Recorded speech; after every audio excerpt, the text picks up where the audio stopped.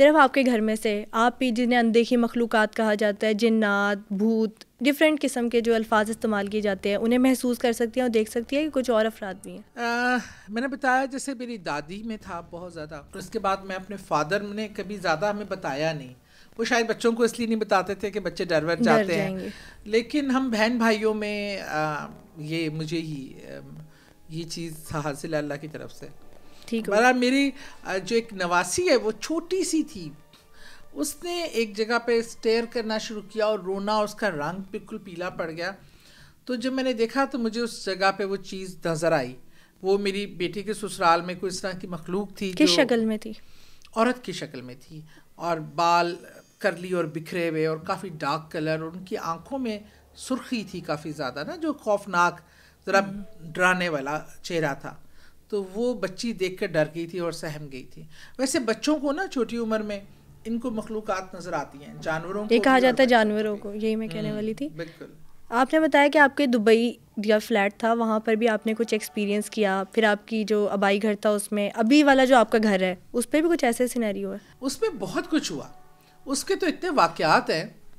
एक तो मैं कितने अरसे से रह रही हूँ उस घर में? मैं बीस इक्कीस साल से रह रही हूँ। अच्छा हुआ ये कि एक दफ़ा ना हम रात को जैसे मैं बच्चों के साथ मेरे हस्बैंड बाहर ही थे मैं छोटे बच्चे छोटे थे तो मुझे छत पे ना जैसे ही हम लोग सब लेटे छत पे बड़ी गहमा गहमी बहुत जैसे कुछ चहल कदमी हो रही है। मैं कहती थी ये मामला क्या जब जाके देखती थी खामोशी जैसे ही नीचे आके कमरे में लेटती थी फिर लगता था कोई फ़ंक्शन इवेंट हो रहा है बड़ा। पहले कदमों की आवाज़ और इस चलने फिरने की आवाज़ें आती थी। एक दिन बहुत गहमा गहमी की आवाज़ थी, जैसे कोई फ़ंक्शन बर्तनों की आवाज़ें, बातें करने की और वो लैंग्वेज आपको समझ नहीं आ रही थी। मैं बहुत खामोशी से ना गई और दरवाज़े में ना एक सुराख सा था। मैंने दरवाज़ा खोला नहीं विदाउट एनी नॉइस में चुपके से गई। तो वो बहुत सी मुझे मर्द और औरतों की शक्ल में ही, जैसे वहाँ रोशनी है ऊपर, बच्चे हैं, लेकिन उनके कलर थोड़े डिफरेंट थे।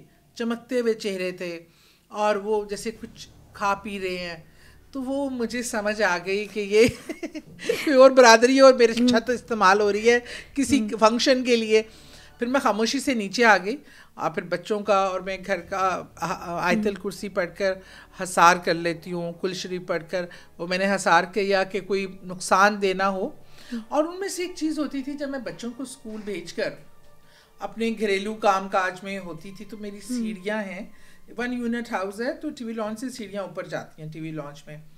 तो उस सीढ़ी पे मुझे एक बारह साल की बच्ची नज़र आती थी बारह से तेरह साल की जिसने घुटनों तक फ्रॉक पहना होता था नीचे पतली पतली टांगे और नंगे पाँव। अच्छा वो बच्ची ना खड़ी सीढ़ियों पे मुझे जो नज़र आती थी वो बस देखती रहती थी मुझे। मैं नीचे काम कर रही हूँ वो मुझे देखती रहती थी। यानी एक मरतबा से ज़्यादा मरतबा आपको कई मरतबा कई मरतबा।